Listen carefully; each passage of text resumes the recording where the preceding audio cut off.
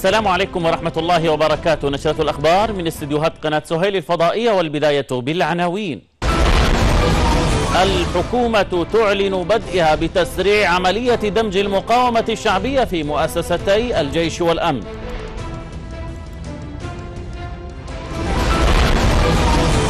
مقتل وجرح 46 عنصرا من الانقلابيين في تعز واستشهاد ستة من المقاومة.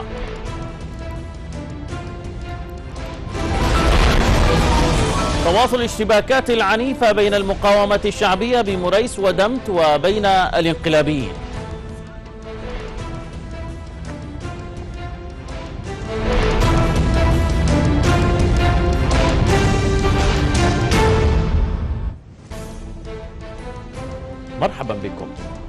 قالت الحكومة إن الجهات المختصة بدأت تنفيذ عدد من الإجراءات لتسريع عملية دمج المقاومة الشعبية في مؤسستي الجيش والأمن.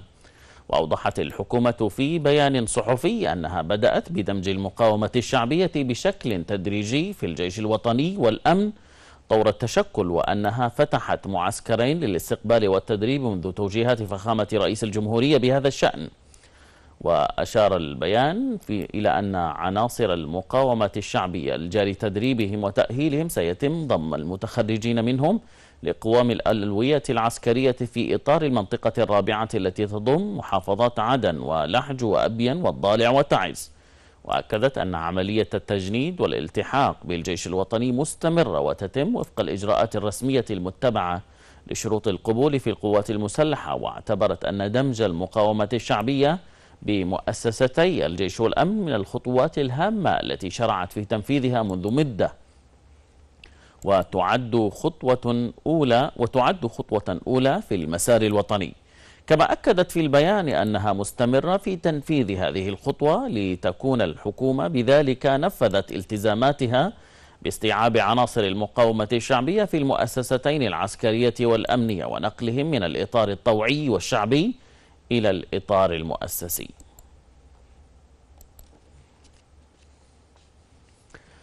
قتل تسعة عشر وأصيب سبعة وعشرون من عناصر ميليشيا الحوثي والمخلوع اليوم في مواجهات مع المقاومة الشعبية في تعز كما ارتقى ستة شهداء وجرح تسعة وعشرون من أفراد المقاومة الشعبية إضافة إلى استشهاد أربعة وجرح ثلاثة وثلاثين من المدنيين جراء القصف العشوائي الذي تشنه الميليشيا الانقلابية على الأحياء السكنية. هذا وصد الجيش الوطني مسنودا بالمقاومة الشعبية بالضباب غرب المدينة هجوما شرسا شارك فيه العشرات من عناصر الميليشيا والعديد من الآليات العسكرية والأسلحة الثقيلة.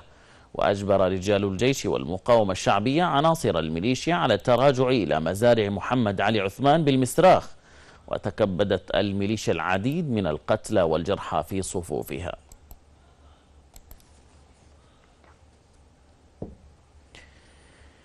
إيمانا بالدور الريادي للمرأة في قيادة مشروع التغيير ودعم مسيرة المقاومة الشعبية ضد ميليشيا الحوثي والمخلوع صالح أقيمت اليوم في ساحة الحرية بتعز جمعة الوفاء للشهيدات. المشاركون في هذه الجمعة أكدوا على السير على درب شهداء وشهيدات الوطن من أجل تحرير كل اليمن من الميليشيا الانقلابية وبناء اليمن الجديد يمن السلام والعيش الكريم. وأكد خطيب الجمعة الأستاذ توفيق عبد الملك إن تعز لن تنسى مجزرة قوات المخلوع صالح بحق النساء في الحادي عشر من شهر نوفمبر 2011 ولا أي من المجازر التي ارتكبتها الميليشيا الانقلابية بحق جميع أبناء تعز رجالا ونساء وأطفالا.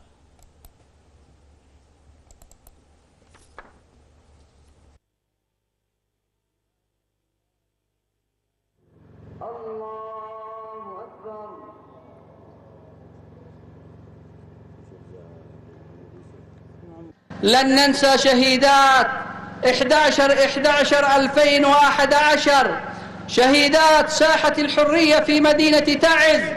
تلك الشهيدات اللائي سقطن بقصف المخلوع صالح لساحة الحرية. ذلك القصف الذي شاهده الجميع على مرأى ومسمع من الجميع عبر وسائل الإعلام المختلفة. تلك أولئك الشهيدات اللائي سقطنا وسطرنا للتاريخ بدمائهن. سطرنا للتاريخ دور المرأة اليمنية في الكفاح. دور المرأة اليمنية في النضال. دور المرأة اليمنية المشاركة في ثورة التحرر. إن إن الحوثي قوة احتلال وتدمير لا قوة بناء وتعمير. لا يمكن لقاتل أن يمنحك الحياة. لا يمكن لمجرم أن يحقق لك الأمن. لا يمكن لانقلابي أن يعطيك الحرية والعدالة والكرامة. لا يمكن لكاذب أن يمنحك الصدق. ها هو الحوثي يدين الدعم السعودي لليمن. وهو الذي فتح الأجواء وهو الذي فتح المطارات وفتح الموانئ لاستقبال شحنات الأسلحة القادمة لقتل اليمنيين جوا وبرا. ها هو الحوثي يدين التدخل السعودي في اليمن وهو الذي يؤيد التدخل الروسي في سوريا وهو الذي يبحث ليل نهار عن تدخل أجنبي في اليمن. ها هو الحوثي ينتقد السياسيين المقاومين في الرياض وهو الذي يرسل سياسييه ومندوبيه إلى موسكو وغيرها من العواصم الأجنبية.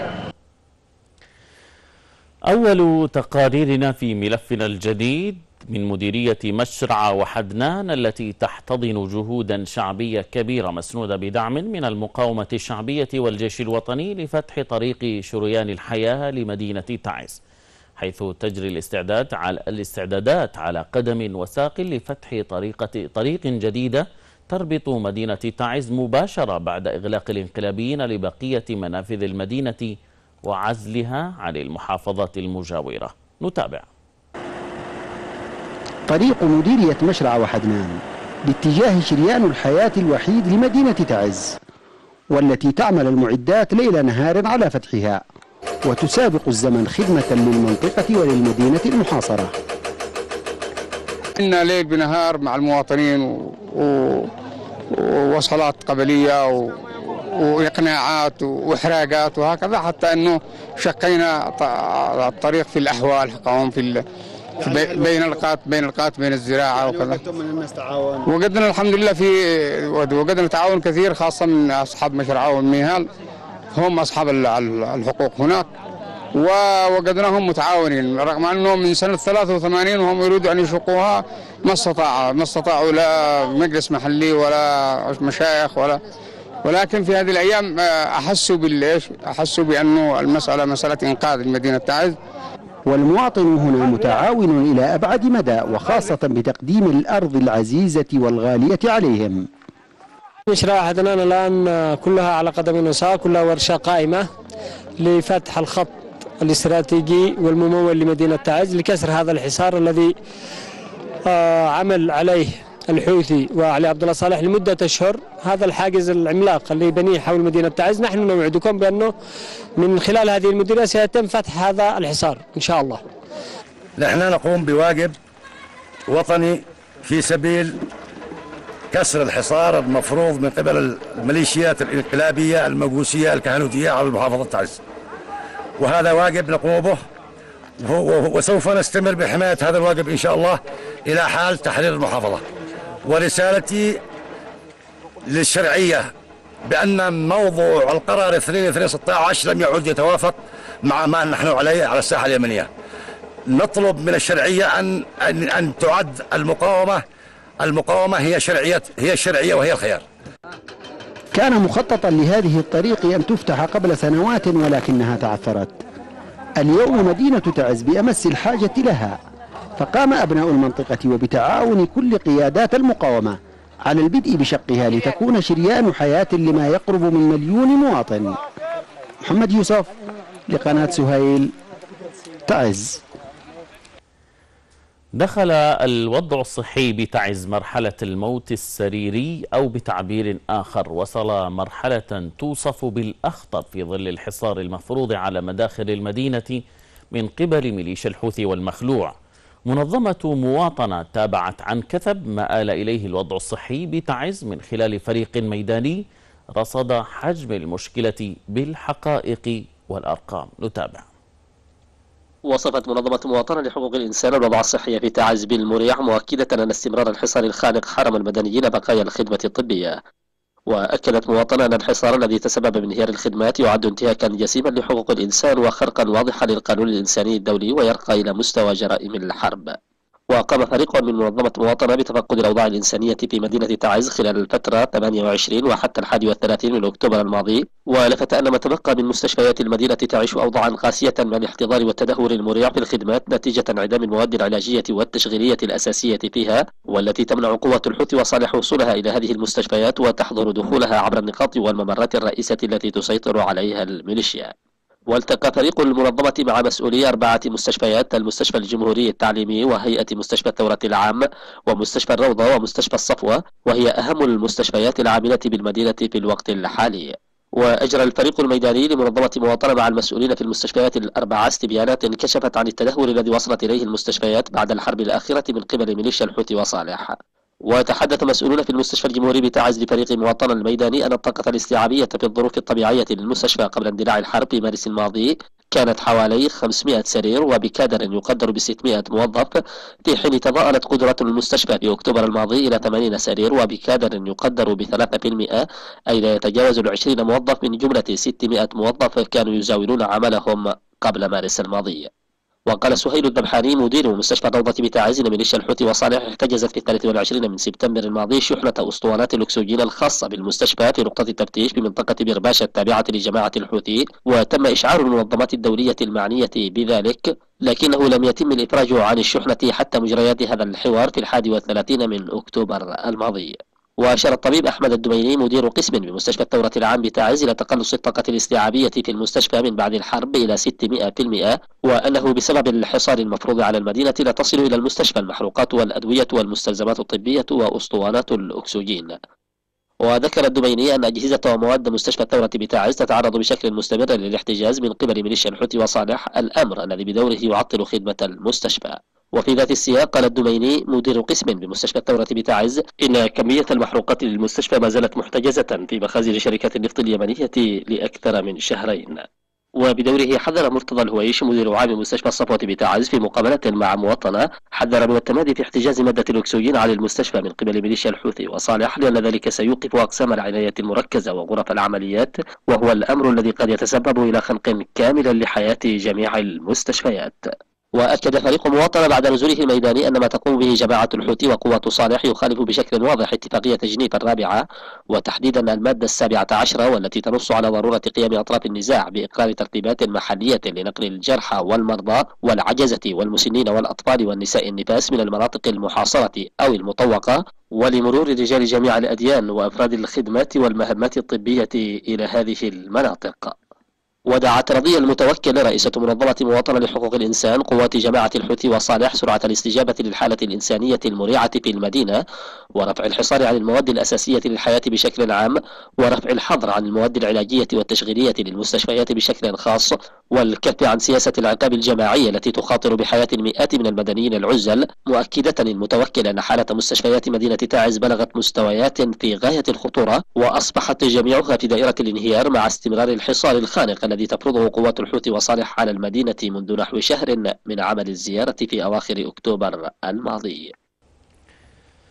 سقط قتلى وجرحى من ميليشيا الحوثي والمخلوع في هجمات للمقاومة وغارات لطائرات التحالف في مديرية ذي ناعم بمحافظة البيضاء.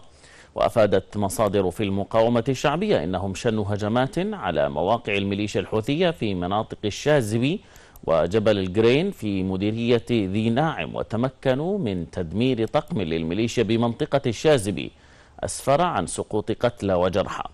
إلى ذلك شن طيران التحالف غارات جوية استهدفت آليات ومواقع لميليشيا الحوثي وعصابات المخلوع في منطقة جهيد بصباح في مديرية ذي ناعم.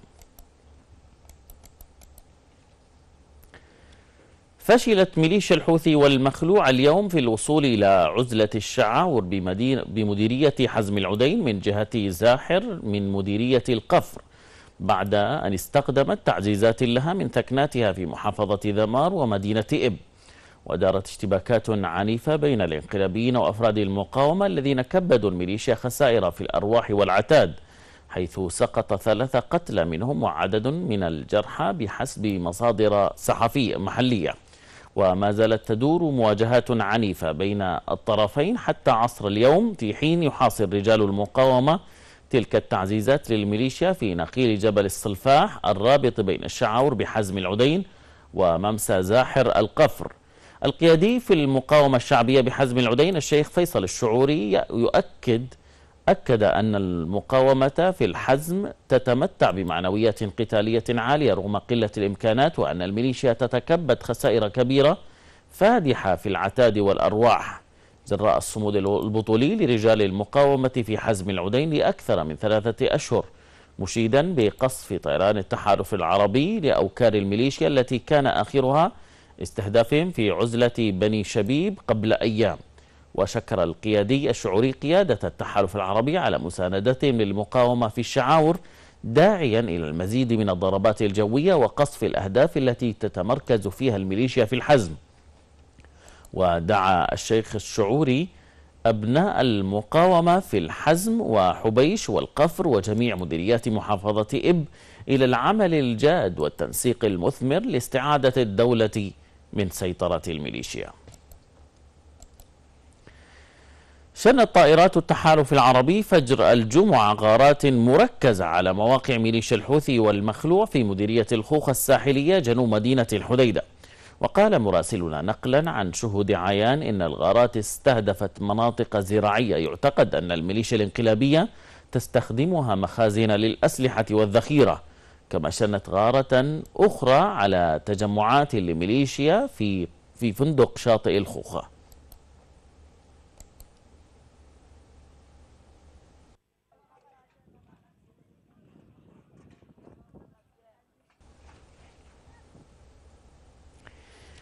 اختطفت ميليشيا الحوثي والمخلوع فجر اليوم الشيخ عبد الله محمد منصر شقيق قائد مقاومة الزرانيق الشيخ يحيى محمد منصر. كما اختطفت عشر آخرين لدى اقتحامها فجر اليوم لقرية الجربش الجربشية الجربشية عفوا في الزرانيق بمحافظة الحديدة. وقال شهود عيان إن ميليشيا الحوثي والمخلوع اقتحمت قرية الجربشية بعدد من الأطقم والسيارات في الزرانيق بمديرية بيت الفقيه بمحافظة الحديدة. وشنت حملة اعتقالات لشباب القرية واقتحمت المنازل وروعت النساء والأطفال. وتنفذ ميليشيا الحوثي والمخلوع حملة اعتقالات في عدد من مديريات الحديدة وخاصة من رفضوا التوقيع على الوثيقة الحوثية التي تحرض على القتال والعنف والإرهاب.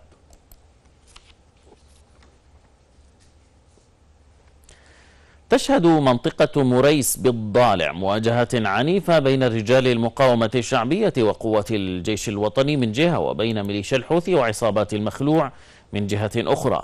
وقال مصدر في المقاومة إن رجال المقاومة تمكنوا من صد هجوم عنيف للميليشيا من جهة القهرة وكبدوا المعتدين خسائر في المعدات والأرواح.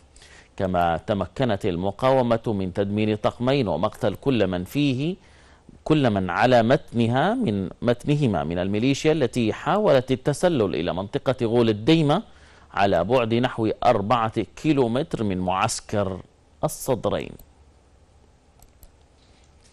هذا وكانت مواجهات اندلعت ظهر اليوم في مدينة دمت القديمة بين المقاومة وميليشيا الحوثي أسفرت عن استشهاد اثنين من المقاومة ومقتل عدد من الانقلابيين بعد منع المقاومة للميليشيا الحوثية من نصب نقطة تفتيش في في المنطقة. واندلعت الاشتباكات بعد محاولة النقطة الحوثية نزع سلاح مواطنين ومنعهم من المرور بأسلحة من النقطة إلى منازلهم القريبة ومقتل شخصين منهم. وتدخل أبناء القرية ورجال المقاومة الذين بادروا للرد على ممارسات الانقلابيين ولا تزال الاشتباكات مستمرة حتى ساعة كتابة هذا الخبر. إلى ذلك أكد رجال المقاومة في مريس على المضي في خيار المقاومة حتى تطهير اليمن من الميليشيا الانقلابية. وتوعد رجال المقاومة الشعبية المرابطين في محيط معسكر الصدرين بمنع أي تقدم للانقلابيين باتجاه المعسكر مطالبين قوات التحالف بتكثيف دعمها ومواصلة الغارات على الآليات العسكرية للانقلابيين.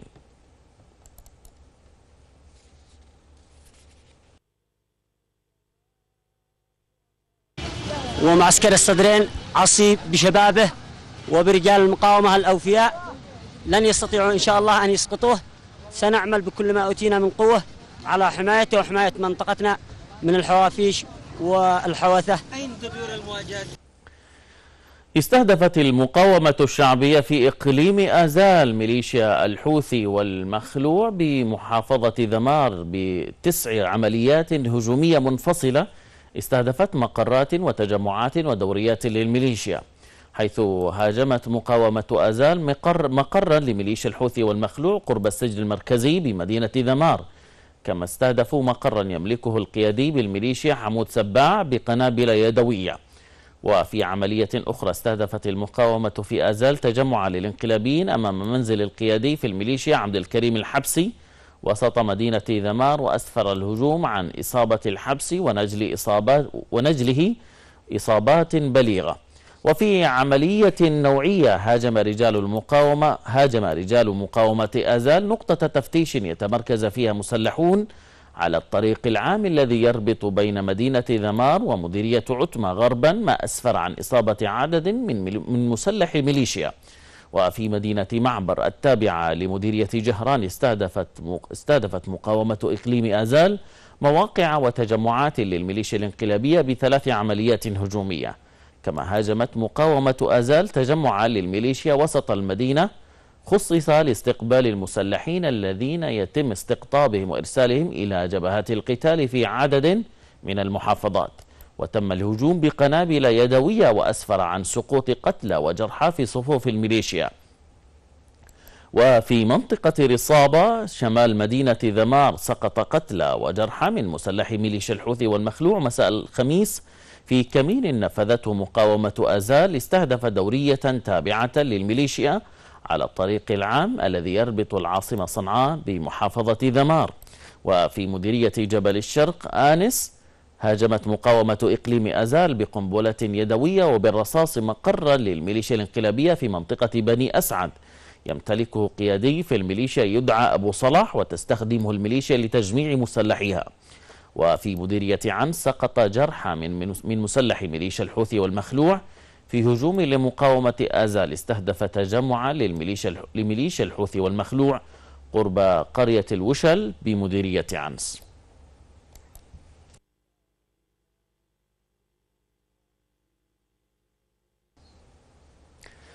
نعت دائرة المرأة في التجمع اليمني للإصلاح إلى نساء اليمن والوطن العربي والإسلامي الداعية الإسلامية والمربية الفاضلة ورائدة العمل الخيري التطوعي الأستاذة القديرة زينب أحمد العاقل التي انتقلت إلى رحمة الله الخميس بعد صراع مع المرض دام خمس سنوات. وأشارت الدائرة في بيان النعي إلى أن فقيدة الوطن أبلت بلاء حسنا خلال فترة مرضها أبلت بلاء خلال فترة مرضها بلاء حسنا بصبرها عليه. وما فتئت تعمل وهي في أحلك اللحظات. وأشادت دائرة المرأة في الإصلاح بالفقيدة الراحلة وحياتها الحافلة بالإنجاز والعطاء في مجال التدريس وتحفيظ كتاب الله وتعليمه والدعوة إليه في كافة المحافل. وتوجت ذلك بإدارة مؤسسة بلقيس للتنمية لتخوض العمل الخيري التنموي وفق برنامج مؤسسي أشرفت من خلاله على تمويل العديد من المشاريع التنموية والخيرية وإدارتها. ولفتت إلى إسهامات الفقيدة زينب العاقل دوما في إصلاح ذات البين والتقريب بين وجهات النظر المختلفة وجمع الكلمة واعتبرت رحيلها خسارة للوطن وللمجتمع. ونوهت الدائرة بالفقيدة التي أسهمت مع شقيقتها الراحلة الأستاذة فاطمة العاقل رحمها الله في العمل الخيري من خلال مؤسسة جمعية الأمان لرعاية الكفيفات متحديات الإعاقة وفقدان البصر بالعمل الخيري حتى توفاهن الله. وعبرت الدائرة عن تعازيها لأسرة وأقارب الفقيدة داعية الله أن يتغمدها بواسع رحمته وأن يلهم أهلها ومحبيها الصبر والسلوان.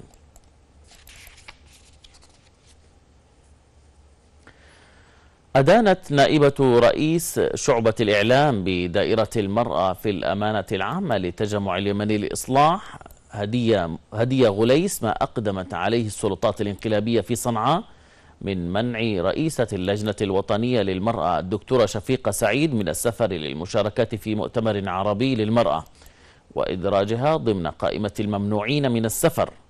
وجددت في تصريح صحفي استنكار دائرة المرأة في الإصلاح لانتهاكاتها السافرة للحريات ومصادرتها للحقوق واستهدافها للمؤسس لمؤسسات المجتمع المدني من قبل ميليشيا الحوثي والمخلوع. واعتبرت أن هذا الإجراء من قبل سلطات ميليشاوية انقلابية يضاف إلى مسلسل الجرائم والانتهاكات التي ارتكبتها هذه الميليشيا ضد أبناء الشعب اليمني وفي مقدمتهم المرأة اليمنية. التي تعرضت فعالياتها الاحتجاجية السلمية لاعتداءات همجية خارجة عن الشرع والقانون والعرف والأخلاق التي دأب عليها اليمنيون حيث لم تتعرض المرأة اليمنية للاختطاف إلا في عهد الميليشيا الهمجية فضلا عن أن المرأة اليمنية تعاني الويلات من نتائج حروب الميليشيا التي تشنها على المحافظة اليمنية. ودعت منظمات حقوق الإنسان المحلية والإقليمية والدولية لا سيما المهتمة بحقوق المرأة إلى إدانة جرائم وانتهاكات ميليشيا الحوثي والمخلوع بحق نساء اليمن والعمل على وقف هذه الممارسات المنتهكة, المنتهكة لحقوق الإنسان عامة وحقوق المرأة خاصة. وأكدت أن مثل هذه الأعمال والممارسات الرعناء لن تثني, لن تثني المرأة اليمنية عن نضالها مع كل فئات الشعب اليمني من أجل استعادة الدولة التي تكف تكفل الحقوق والحريات وملاحقة من ارتكبوا الجرائم أمام القضاء المحلي والدولي.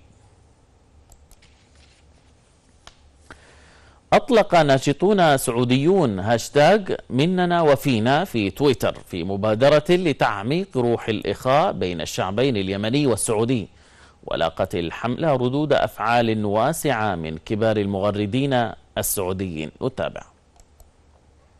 أطلق نشطاء سعوديون من النخبة حملة مننا وفينا من خلال هاشتاج على تويتر للتعبير عن أواصر المحبة والتلاحم بين الشعبين السعودي واليمني. وشارك في الهاشتاج مننا وفينا عدد من الأمراء والإعلاميين والكتاب السعوديين في مبادرة لاحتضان الشعب اليمني ووسيلة لإيصال رسالة للمقيم اليمني مفادها أن الشعبين على قلب واحد.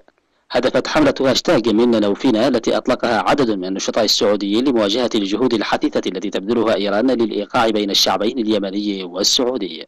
الأمير فيصل بن تركي رئيس نادي النصر غرد بالقول في كل زاوية من هذا الوطن كان للمواطن اليمني أثر فوجب علينا الشكر. كما دعا بن تركي جمهور ناديه النصر إلى التعبير عن مشاعرهم تجاه اليمنيين قائلا إلى جمهور النصر الكرام أطلقوا مشاعركم الطيبة تجاه الشعب اليمني الكريم عبر مننا وفينا أما الممثل السعودي الشهير فايز المالكي فقد أطلق تغريدات من بينها لأصدقاء من اليمن كثير مننا وفينا وأقسم بالله نعم الرجال ونعم الأخوة. أحمد محمد الطويان الكاتب الصحفي بجريدة الجزيرة السعودية عبر عن مشاعره تجاه إخوانه اليمنيين بالقول اليمني والسعودي جسد واحد. كان عدد كبير من الإخوة اليمنيين شركاء لنا في التنمية وستبقى هذه العلاقة الإنسانية متينة وقوية. أنتم بحق مننا وفينا وأكدت الإعلامية مغيرة عبد العزيز مذيعة قناة العربية في حملة مننا وفينا على وحدة اليمن والخليج قائلة خليجنا متوحد بإخواننا اليمنيين اللي نعتبرهم جزء لا يتجزأ من النسيج الخليجي. ونوهت الإعلامية أحلام اليعقوب إلى مشاركة الشعب اليمني للسعودي بأهم الأمور في الوطن حيث قالت بالعلم تنهض الأمم. تأكيدا أنكم مننا وفينا صفوف العلم تجمعنا كما هي صفوف النخوة والحرب. عزكم من عزنا. وشر الإعلامي سعد المطرفي إلى إخلاص وفاء الشعب اليمني قائلا كل صديق يمني أعرفه في السعودية لديه صفة واحدة مشتركة وهي حفظ الجميل لا يعرف النكران أبدا. هذا ولقت حملة هاشتاج مننا وفينا التي أطلقها نشطاء سعوديون ترحيبا واسعا في أوساط المجتمع السعودي اليمني وتوالت ردود الأفعال بشكل كبير على هاشتاج الحملة مننا وفينا التي انطلقت مطلع الأسبوع. نشرتنا انتهت وهذا تذكير بأهم عناوينها. الحكومة تعلن بدئها بتسريع عملية دمج المقاومة الشعبية في في مؤسستي الجيش والأمن. مقتل وجرح 46 عنصرا من الانقلابيين في تعز واستشهاد ستة من المقاومة.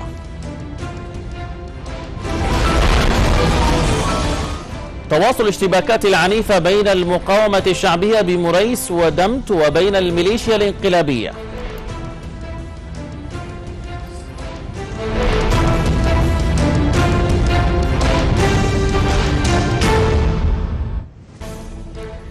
للمزيد يمكنكم متابعة صفحة القناة على مواقع التواصل الاجتماعي الفيسبوك وتويتر واليوتيوب والتليجرام. في أمان الله.